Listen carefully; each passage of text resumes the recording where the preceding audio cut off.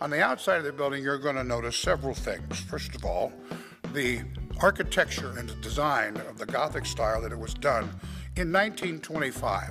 You're also going to see a plaque in reference to one of our most famous members here in Long Beach, actor Ernest Borgnine. In 2011, we dedicated our theater to him.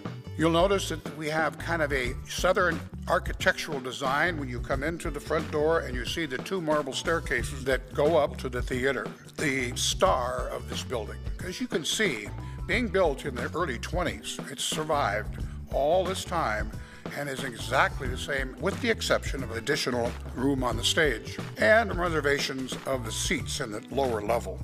The upper level has seats that were put in in 1925 and are still there today. We have 90 drops that come down from the ceiling, various period pieces and various scenes that were all hand painted back in the 20s. The theater also has full lighting system and a 36 channel sound system. This theater offers so much that you're not going to find in the big theaters or the small theaters. I invite you to come down.